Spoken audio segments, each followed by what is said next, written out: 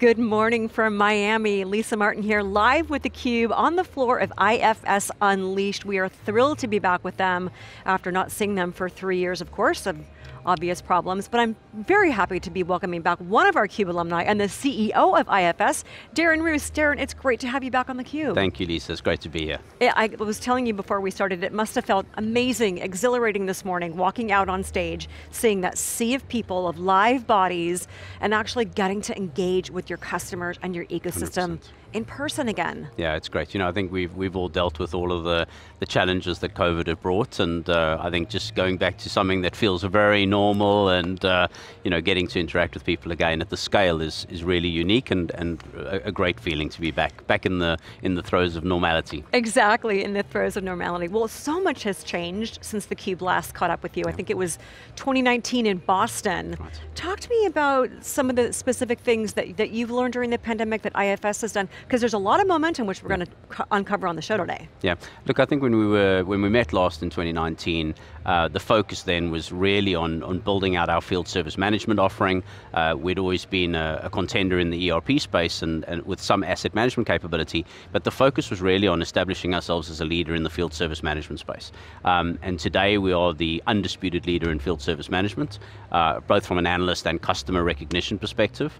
Um, and what we've also done is we've really focused on building out that asset management capability and um, you know, today again we're the number one player in asset management. And when you think about how you bring those two things together and uh, the way that asset and service-centric entities uh, have to orchestrate their organizations to create uh, what we call amazing moments of service for their customers, um, then you need a technology platform that can provide all of that, and we do that. Really best of breed capability across field service management, asset management, and components of ERP, but on a single platform so customers don't have to deal with the integration complexity that they would with, uh, you know, in a, in a more heterogeneous environment. Which so, yeah. Critical for getting time to market, product to Absolutely. market, services, new revenue streams, et cetera. Absolutely. You, you, but you're also the top three ERP vendor. One yeah, of the we're, top we're, three. We're one of the top you're three growing ERP vendors. north Absolutely. of 20%, yep. way more than the big guys. Yep. How are you doing it and, and where do you win? Yeah, you know, I think the, the, for, for so long customers have had to choose, as I said, between this best of breed and best of suite, um, and making compromises either on functionality or on integration. Um, and I think that, you know, we're very focused from an industry perspective. Um, as I said just now, we only uh, focus on, on capabilities in, in service and asset-centric industries, think utilities, aerospace and defense, etc. Um, and in that space, you know, we have a very compelling proposition. As you said, we can help customers uh, go live faster, uh, we can de-risk those implementations because we have more depth of functionality that's suited specifically to their needs, um, and that makes it compelling, and, and that means that in a, in a world where we're competing against vendors who, who are very much horizontally focused, um, and uh, that best of suite uh, offering that they have means that the functionality is compromised, or in a best of suite, uh, best of breed world, that the integration is compromised, that's why we're winning and that's why we're outgrowing the competition. And uh, you know, I think we, we just stay focused, we stay in our niche, we stay focused on, on our customers and creating value and, and you know, that's our reason for being.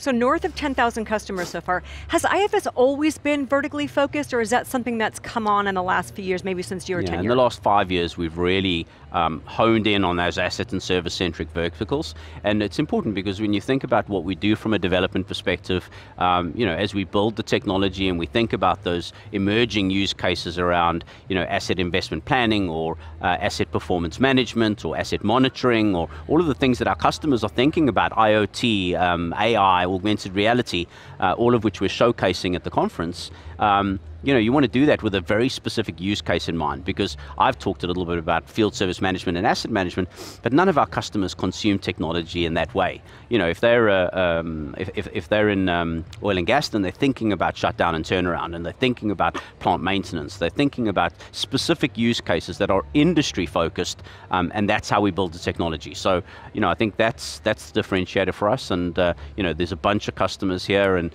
you know, you, you'll see all of the, you know, the solar arrays and the wind farms and all the different things where we're demoing the capability that we have that is very industry focused. The industry focus is so, like you said, very differentiating, but also it's not just we're going where customers are, it's we're listening and we're actually speaking the language that our customers speak. That's differentiating from the many, many hundreds of, of tech leaders that I talk yeah. to, just so you know. 100%. Well look, I think the thing is, is that what we recognize is that for us to be able to um, really create value for them in the specific vertical that they're in, it can't be that we stick a marketing label on it. Um, and it, the, the, that industry flavor has to be ubiquitous from you know, when we meet them and we're able to understand the problems that they're facing, uh, through to the way that we build the technology to address the problems, um, all the way through to the partners that we're working with who are then going to deliver that solution. They need to understand the industry. Um, and I think that you know, it's, it's, a, it's a, not a particularly level playing field because so many of our competition don't operate that way. They have a horizontal application, they have horizontal partners, um, and, and, and then a lot of the rest is, is marketing blurb. Um, but you know, I think the customers that we have here today are, are, are great global, international brands. Um, you know, we told some of the stories from the stage this morning with uh, with companies like Southwest and and the MRO solution that we delivered for them, and we're immensely proud of that. And you know, our our focus is on just telling more of those stories and creating more of those stories and being able to point towards tangible value that our technology has created in record time. You know, that's the focus. Right, There's, it's all about the business outcomes. We've got, sitting across from our set here is the Aston Martin F1 car car. Darren and I were talking before, both big F1 fans. I love hearing the smart factory from, from an F1 team's perspective because, yes. Or hearing uh, about aerospace and defense customers because you get to understand the commonalities of these businesses Absolutely. and how similar they are yeah. to other industries. They have some of the same huge challenges, 100%. but getting a race car built between now and the February of 23 for the next yes. race season, the amount of manufacturing that has to go on, yeah. smart manufacturing, yeah. and knowing that IFS is really underpinning that is, yeah. is fantastic. Well, it's, it's more complex than that even because they're not building a new team by a, a new car by February. You know, they're rebuilding the car every week. Yes. Um, and uh, you know, it's that kind of uh, attention to detail and the speed and sense of urgency that, that we is a great opportunity for us to showcase the technology, and that's why we love the relationship with Aston Martin Racing.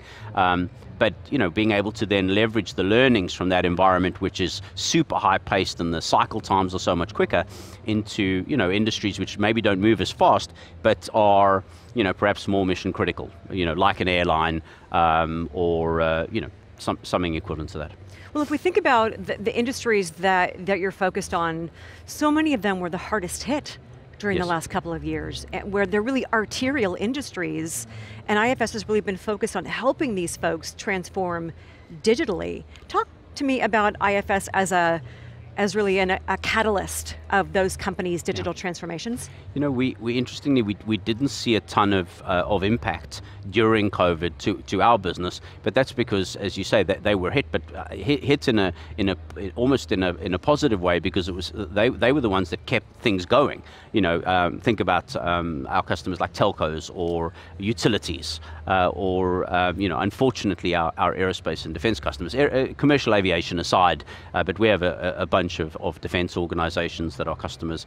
Um, and, you know, they, they've had to keep going. And what we've really focused on and, and, and, continues to be our focus is how do we help those businesses to be more efficient? How, and, and this is increasingly, especially with, with what's happening in the world today, um, is increasingly important to them. How do they drive operational efficiency?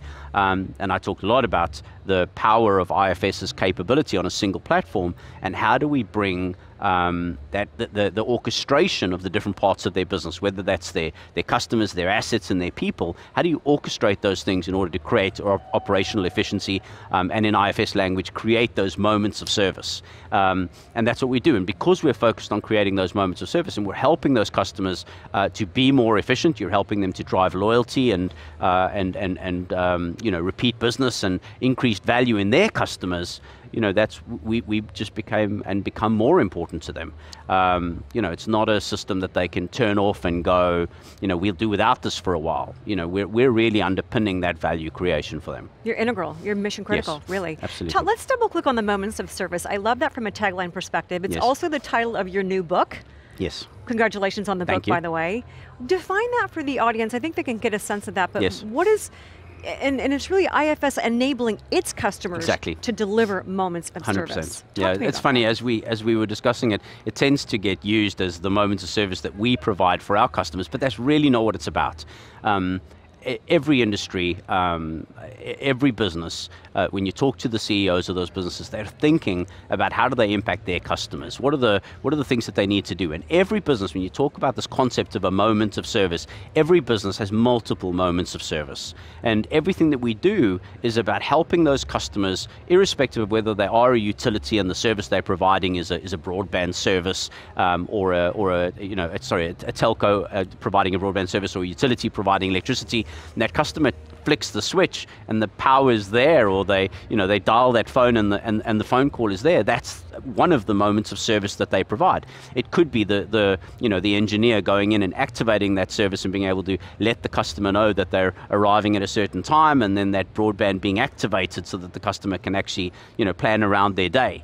Um, but those moments of service are what we enable um, and it does, it takes a tremendous amount for an organization to come together. We've all, as a consumer, had an experience where, you know, we've had an expectation and we've been disappointed and, and, and that moment of service wasn't provided. And almost in every single case, it comes down to uh, a fragmented selection of systems that weren't integrated, that weren't interoperating. You, you know, the wrong technician shows up, he doesn't have the right equipment, he didn't know that your house, you know, didn't have a, a, certain capability or, or, or, or piece of equipment in it. Um, and that's where it starts to fall down, and that's the customer disappointment, and that leaves a sour taste in their mouths. So everything that we've done, whether it's our uh, customer satisfaction monitoring tool, Customerville, um, or whether it's the asset management capability, the field service management, managing those techs so that you get the right technician with the right part uh, when they said they were going to be there. All of those things um, are really focused on those moments of service. And you know, as you said, what, what, what resonates with people is that everybody as a consumer you know, interacts with companies where they've been disappointed by a poor moment of service and they've had great moments of service. So it does resonate with everyone. It does, and I actually think moments of service probably in a hopefully post-pandemic world are probably even more important Yeah. because I think one of the things, and you talked about this, we've all had these disappointing experiences in the last couple of years that were magnified to some factor of X. Yes. And I think patience has been in short supply. It's Yes. Probably not going to rubber band No. back. So No. being able to through your technology enable customers to deliver those moments of service that are critical to Yeah. reducing churn, increasing revenue, turning revenue into recurring is really a differentiator for your customers. It's an advantage for them. Well, I think that um, you know the consumers in general are becoming more demanding. That's a, a trend that isn't going to change. COVID certainly accelerated that. That's that's one element. So we think about kind of big macro trends that are impacting you know businesses today. Um, the other thing is is that th- this big move towards towards servitization, and we think about companies like. Um, uh, Rolls-Royce, who are a customer of ours, who you know they used to manufacture and sell engines that went on aeroplanes and, and, and, and other engines, um, and today they don't. They, they rent those by the hour, and the, at the at the point that you flip that dynamic from being you know making a product and selling it to you know providing it as a service, the, the world changes completely because all of a sudden you have to think about you know how, how well are we are, are we making these assets? Um, how are we going to monitor those assets? How are we going to continue to service those assets? Um, and obviously longevity and quality becomes so much more important, and your customer experience becomes so much more important because if they're not putting a big capital outlay and they're just renting it from you, if you don't provide uh, you know quality of service, then they'll simply go somewhere else. Um, and and our technology underpins those motions. Um, so you've got these big trends of customer you know expectation going up, and of course the servitization trend. Right, and we've actually got Rolls-Royce, Nick Ward from Rolls-Royce coming on the program Fantastic. later today, so we'll talk Good. about the big pivot they made and how IFS has really been Yes. transformative in that. Talk a little bit about, in our last few minutes, about supply chain. Obviously, we know it's been quite quite a mess the last couple Yes. of years. I saw some research over the summer from IFS that said 66% of organizations are keeping more stock on hand, Yep. more organizations are increasing supplier numbers. How is IFS helping in that sense? Yeah, so I think uh, it's all about visibility, and I think if we can give customers visibility into their supply chains and their stock levels, their inventory, um, and of course, you know what's required from a customer perspective. And again, it's this orchestration of different pieces, which in a heterogeneous, non-best of breed and suite world means that customers maybe have to try and figure out how they're going to manage all those things across the different systems. In IFS, it's all in one system.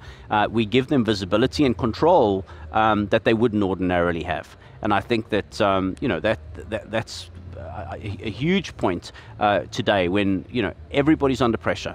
Um, you know how, how, much money you've got tied up in inventory. Um, you know what what your your your um, your your supply chain uh, uh, cash levels look like is, is a huge challenge for businesses with uh, increasing debt level uh, costs coming up now. So you know I think that um, being able to manage that more efficiently, having better visibility, being able to plan more effectively so that you're, you know, if you're building up your stock supplies, it's because you need those stock and you know what order's coming. Um, and that's where, you know, having integrated capabilities is so important. Um, and that's what we provide. Visibility and control are absolutely critical. I know that energy is one of your vertical yes. uh, special, specialties. Talk to me a little bit about how you're helping customers in Ukraine from an energy perspective. Is IS, yeah. IFS there helping organizations to navigate those headwinds? Yeah, so uh, we're not in Ukraine. It's not an, a, a, market that we operate in. Um, but I think that what is, you know, ubiquitous now in the world is, is, is, is energy crisis, given what's happening in Ukraine. Um, and I think that um, as an industry, we see the utilities um, industry investing heavily both in, in two areas. One is that continuity of service and, and being able to make sure that, again, it has predictability around what the requirements are and how they provide uh, quality of supply and continuous supply. Uh, but the other thing is, of course, is you, have got this whole move towards sustainable energy. Yes. Um, and that's an area in which we're increasingly involved in. And, and again, uh, like I said, you see a bunch of sustainable energy uh, demos going on around here in being able to help um, companies make the transition, um, as well as manage that new infrastructure. Yep, absolutely. And we've got some, you know, we've got we've got a bunch of innovation around that coming in in the next six months or so. Well, you coming off a fantastic first half. We saw the results over the yeah. summer. ARR up 33%. Yeah. I can only imagine the trajectory in second half it is, is strong. continuing yeah. we'll, to we'll go We'll release up. our Q3 results soon, and uh, in fact, all the numbers uh, are improved on on our half year numbers. So really happy with that development but it's you know it's, it is a testament to our customers. It's a testament to the way in which they work with us to make sure that we can build differentiated capability. Um, and you know we, we continue to to try and work with them and reciprocate that loyalty. And uh, you know that's our story. Synergy, love it. Darren, thank you so much thank for you, coming Lisa. on theCUBE, sharing with us the great momentum that IFS has been having during your, your tenure, also during the pandemic, the great customer stories that really thank articulate you. your value. We appreciate your time and we look forward to unpacking more on the program today. Thank you, Lisa. My pleasure. For Darren Roos, I'm Lisa Martin. You're watching theCUBE live from Miami on the show floor of IFS Unleashed. Don't go away, my next guest joins me in just a minute.